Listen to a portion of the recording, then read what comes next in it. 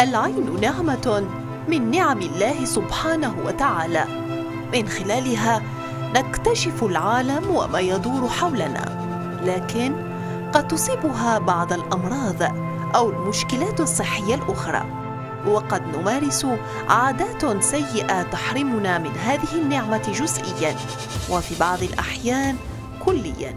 فماذا لو استعملنا النظارات الشمسية المقلدة وما هو تأثيرها على صحة العينين؟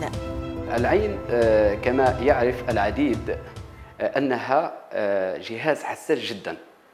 ولهذا يترتب علينا نحن كأطباء التحسيس فيما يخص العناية الدورية بالعين ونقول وننصح المواطن العام أنه يكون على ارتباط وثيق بكل المعلومات وبكل التطورات التي تجري فيما يخص آه، مجال آه، العين وأمراضها.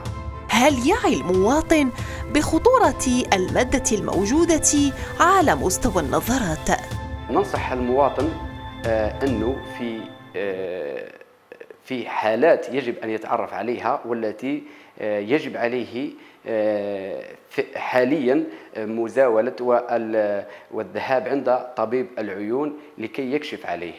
آه، في هناك بعض المواطنين الذين لا يولون أهمية آه، لما يخص العين أو أمراض العيون. آه، نجد بعض الأشخاص الذين يعملون في مناطق التي تعرض أعينهم للخطر.